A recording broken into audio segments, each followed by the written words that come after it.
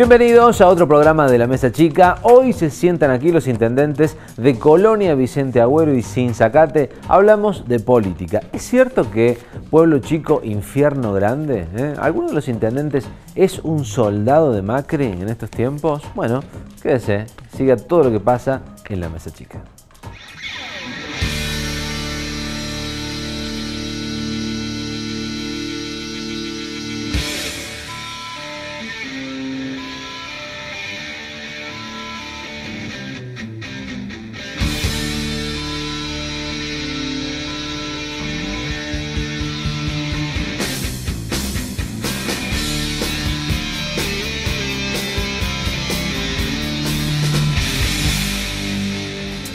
Bloque de la mesa chica, bienvenidos. Ya sabe que puede eh, seguirnos en las redes sociales. Estamos en eh, Twitter como arroba canalcop. Estamos en nuestro número de celular, que también ustedes ya lo van a ver en, pantalla para que se puedan comunicar. Y nos dan sugerencias, lo que a ustedes les, les vaya pareciendo. Mesa chica que hoy eh, concentra a dos pueblos amigos, hermanos y dos intendentes que también imagino que son amigos por la, por la profesión.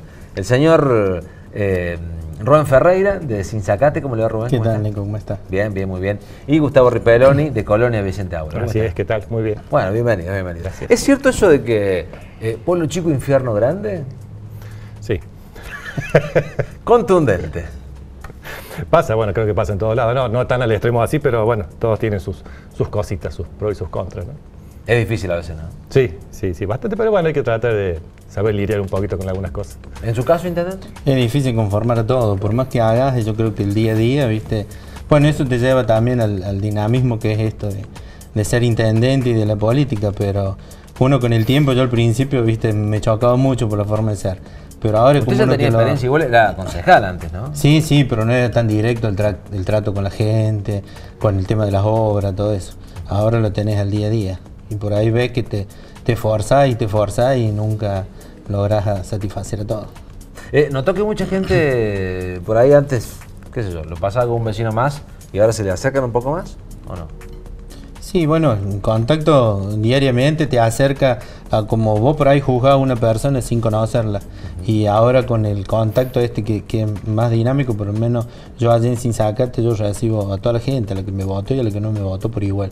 Y por ahí tenías un trato como más distanciado y ahora tenés un acercamiento más hacia la gente. Bueno, ahí en Colonia Vicente Agüero, en general, eh, sido como unánime, ¿no es cierto? Es un pueblo muy radical, digamos. Sí, sí, sí, en ese sentido sí. Es muy, muy unido ahí, en ese sentido. ¿Le dan ganas de seguir? No, sí, por supuesto. No, no, eh, estoy cómodo en el, en el, cargo que tengo y bueno, lo vamos, tratamos de llevar lo mejor posible. Este, como dijo Rubén, hay que eh, hay, ciertos momentos en que bueno, la gente por ahí se pone eh, un tanto exigente y por ahí lo comprendo, pero bueno, los tiempos por ahí que manejamos nosotros no son los tiempos que, exige, que, requiere la gente, ¿no? En ciertas cosas, en ciertas respuestas que dar. Tratamos de hacerlo con la premura eh, necesaria, pero, pero es lindo, es lindo el trabajo, es linda la función. ayuda, digo, en cuanto a las gestiones, a hacer política, tener al lado dos gigantes como Jesús María y Crónica Rosa. ¿O no? ¿Los es indiferente? En el, caso mío, bueno, yo sí, yo digo que sí, sí ayuda para, para gestionar y, inclusive te ayuda para, para ver por ahí em, errores o aciertos que ellos pueden tener a tratar de ir por eso también uno, para tratar de mejorar cosas y para tratar de hacer cosas. ¿Eh? ¿En su caso? No, también sin duda. Nosotros, al ser un pueblo chico, este, por ahí cuesta un poquito más llegar a ciertos lugares donde, bueno, una ciudad grande como Jesús María o la propia Colonia Carolla tiene un poquito más de accesibilidad.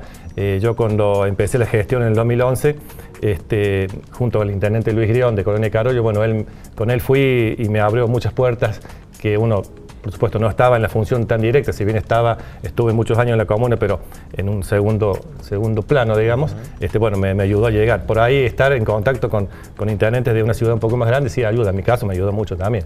Con Gabriel Frisa lo mismo, Carlos Ciprián también, este, tuve, tuve ayuda de ellos y bueno, lo valoro y, lo, y eso es muy rescatable. Eh, ¿En qué cree que los va a influir el, proceso electoral que se va a vivir este año? Con cambios en la Cámara Baja sobre todo, ¿no? que son por ahí los que tienen más contacto con el interior. Y todos estamos esperando que sea para mejor todo esto de las elecciones. Yo creo que es un, es un país rico la Argentina y no tiene que haber tantas divisiones como estamos teniendo ahora en un principio. Yo creo que todo, todo es político de día a día.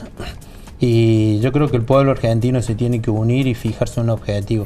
Yo creo que podemos salir de la pobreza, pero tirando todo el mismo, el mismo vagón. Si uno tira por un lado, no se va a mover.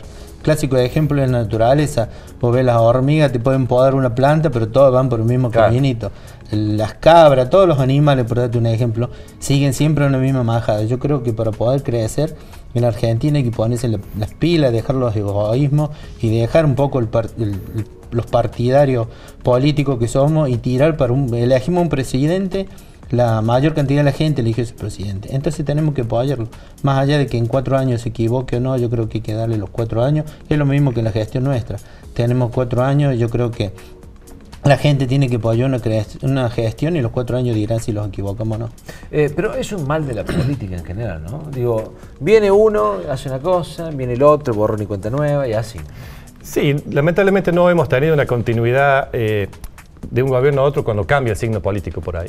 Este, los últimos 12 años que tuvimos fue un mismo partido, pero bueno, eh, los resultados medianamente están a la vista de lo que pasó. Para bien o para mal, hubo, hubo un proceso que mucha gente se vio este, desfavorecida y mucha gente que no. Pero hoy exigirle al gobierno actual que en un año haga el cambio que, queremos todos, eh, así tan radicalmente por ahí eh, no, es, no, es, fácil.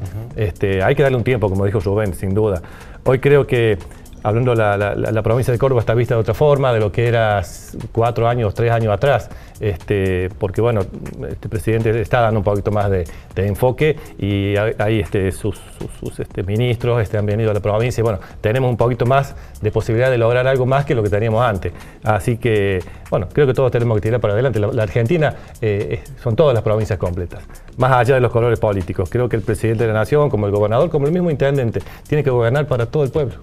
Más allá, las diferencias políticas se verán en el momento de la elección, yo siempre lo digo, pero en tanto, digamos, tenemos que subordinarnos o estar todos de acuerdo y tirar todo para el mismo lado. Bueno, en general, los intendentes que han, venido, ya pasó el de Carolla, de Jesús María, eh, coinciden en eso, ¿no? En que como que ahora tienen las puertas un poco más abiertas. Yo te puedo hablar desde mi punto de vista y por experiencia propia.